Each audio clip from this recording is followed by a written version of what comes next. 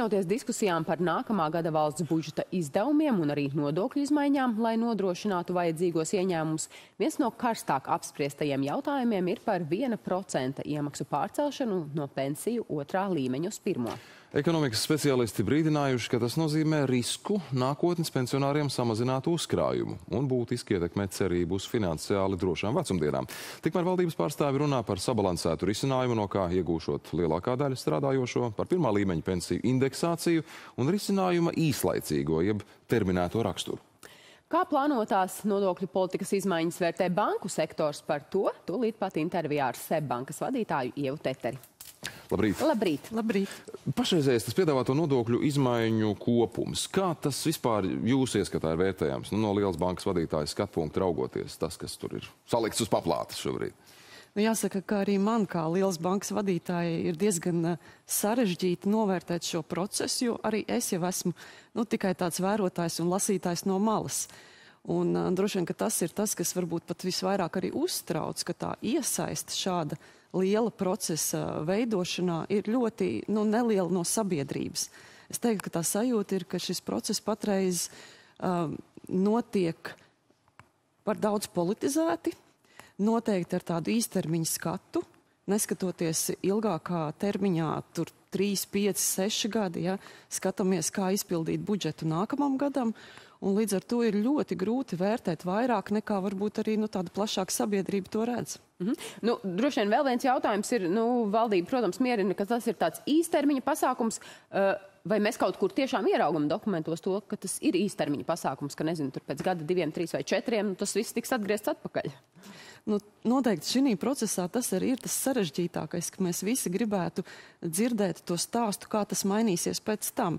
Un uh, mūsu pieredze noteikti rāda, ka tā tas parasti nenotiek. Ja, ja kaut kas tiek ieviests uh, uz laiku, nu, tas ir labākā lieta, kas paliek arī patstāvīgi uz, uh, uz ilgākiem laikiem un gadiem pat. Ja.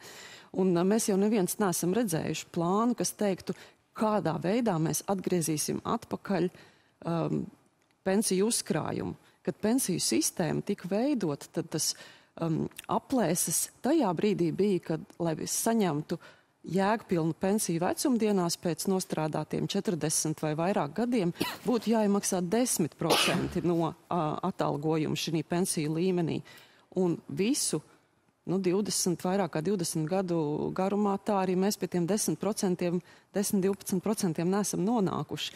Mēs uh, samazinājām pēc krīzes, mazliet pacēlām, un tagad mēs atkal gribam mazināt. Un tādēļ arī varbūt tā uzticība tam procesam ir ļoti zema. Nu jā, uzticības jautājums eh, ilgtermiņa risinājumiem pats par sevi un uh, ņemot vērā to, cik ļoti, um, cik ļoti demogrāfijas tendences ir neiepriecinošas, lai mēs varētu prognozēt kaut ko attiecībā uz uh, šīs uzkrātās naudas, neuzkrātās atgriešanu. Bet mēs turpināsim arī par šo tēmatu vēl, bet es sākumā par to nodokļu kopāju runājot, gribēju jums arī pavaicāt par banku virspēļņas nodokļu ieviešanu. Tas tomēr arī ir tāds um, no finanšu sektora puses kritika iepriekš izpelnījies. Nu, it kā jau skan loģiski. Nu tā iespēja nemaksāt to nodokli, ja bankas piedalās vairāk aktīvā kreditēšanā, noteikti pakāpes sasniedzot. Un, Nu, tad, attiecīgi, nevis tikai uz augsto procentu likmju peļņas augļiem dzīvojoties, bet arī piedaloties vairāk. Kā jūs tomēr vērtējat šo? Man laikam divas lietas gribās teikt. Viena lieta, par ko es jau teicu, par to, ka ļoti zemi ir tā iesaista ar sektoru. Mēs runājam par ļoti lieliem skaitļiem, bet finanšu sektors projektu likumam saņēma, nu, ja es nemaldos, pirmdienā vai otrdienā, un aicinājums uzreiz pārunāt šo projektu bija pēc pāris dienām, jā, aicinājums uz finanšu ministriju, nu, tad mēs varam tikai spriest par to, cik liela iesaista un cik liela uzticība tiek veidot ar nu, samērā lielu industriju, un industriju, kur arī budžetā piedalās ar pietiekam lielu artavu. Um, tas ir viens, un otrs uh, tiek runāts par to, ka šis uh, likums ir sabalansēts, ka mēs uh, iesaistam bankas vairāk kreditēt, un līdz ar to bankas iespējams saņems atlaides no, no šī, mm, šīs nodevas ja, vai, vai jaunā, jaunā nodokļa. Bet, ja mēs paskatāmies uz to, kas likumā ir iestrādāts, tad likums principā paredz, ka mums būtu jākreditē tādos apjomos un tādos tempos, kādi vēsturiski ir bijuši tikai pirms iepriekšējās uh, finanšu krīzes. Bet es saprotu, ka tas apjoms, ko paredz likums, nemaz tā racionāli vērtējot mūsu tautsemniecību šodien un šeit, nemaz īsti nav sasniedzams. Es teiktu, ka tas nav sasniedzams, it īpaši, ja banka jau ir liela, stabila un portfels ir liels, jo viss balstās uz procentiem. Nu, ņemot vērā, ja SEB bankai ir 4 miljardi uh, portfelis, tad katrs procents klāt ir, protams, ļoti liels uh, skaits. Ja mēs paņemtu varbūt mazāku banku, tas varbūt būtu vieglāk sasniedzams, bet kopumā tautsaimniecībai tik strauji kreditēšanas pieaugums uh, varētu drīzāk nodarīt ļaunumu nekā labumu. Bet kā jūs skaidrot, neiksim, tas, ko valdība saka savā retorikā, nu, vai tas ir, lai vienkārši nomierinātu sadrī, sabiedrību, lai tā teikt, kā viņi saka, nu, ka nevajag burt drāmu, ka nav tik traki, vai varbūt tiešām, nu, tur līdz galam kāds kaut ko nesaprot?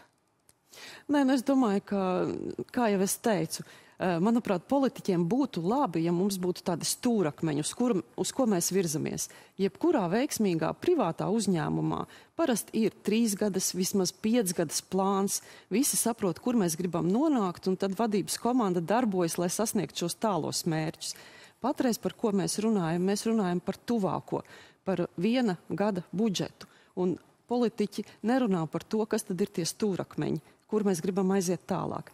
Mēs runājam par to, ka mums šodien ļoti svarīga ir aizsardzības uh, nozara. Tā ir pirmā prioritāte. Noliksim malā visu pārējo. Jā, es ļoti labi saprotu, ka šī situācijā tas tā ir, bet tajā pat laikā, manuprāt, ilgtermiņā valstī ir svarīgi arī vēl pārējie aspekti, piemēram, demogrāfija, par ko jūs jau minējāt. Un galu galā, ja jau mēs nerunāsim par demogrāfiju ilgtermiņā, nu tad arī aizsardzība kaut kādā brīdī varbūt vairs nav vajadzīga.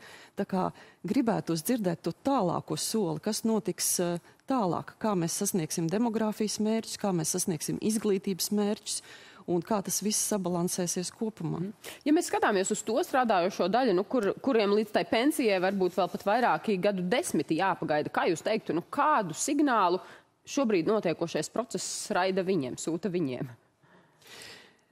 Nu, jebkurā gadījumā uh, valstī ļoti, ļoti un politiķiem būtu jādomā par uzticību. Mēs visu laiku runājam, ka mums ir uh, jāsamazina ēnu ekonomika. Ēnu ekonomikas mazināšanu uh, visvairāk veicinātu uzticība politiķiem, uzticība nodokļu sistēmai, uzticība nu, tādai lielākai valstī kopumā. Un pensija, man liekas, ir viens no tiem stūrakmeņiem, ku, kas visvairāk rosina uzticību. Un ja mēs jau pašu to nu, būtiskāko pamatu uh, uzticībai sākam kustināt, kas ir pensiju sistēma, nu, mums jābūt, uh, jāapzinās, ka tas izraisīs neusticības uh, jautājums. Uh, Tāpēc es domāju, ka šī brīdī tas noteikti ir par uzticību valstī lielākā, nu, tādā lielākā mērogā.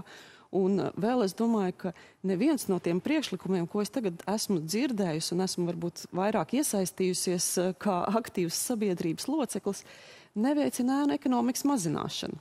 Iepriekšējā gadā, kad mēs runājam par hipotekāro nodevu, mēs aicinājām valsts, mēs teicām, risinam to caur iedzīvotāju ienākumu nodokli. Tas bija sarežģīti, tas bija grūti, labāk samaksāsim visiem. Labi, tagad mēs runājam par pensiju atkal.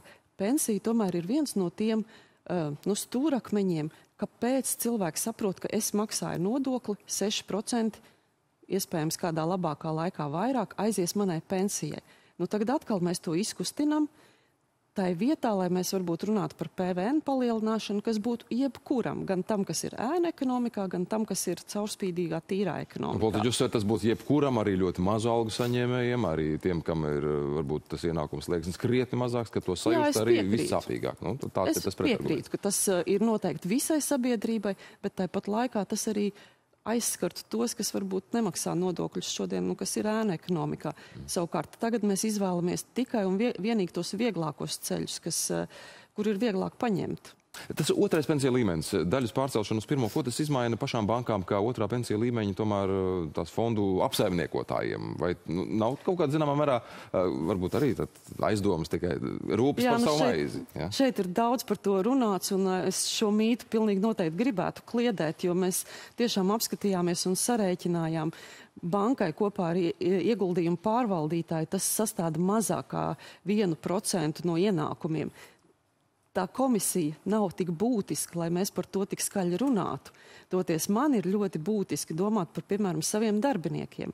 SEB banka Latvijā nodarbina 2000 darbiniekus. Nu, SEB grupa, ja, kopā gan banka, gan uh, globālo pakalpojumu centrs.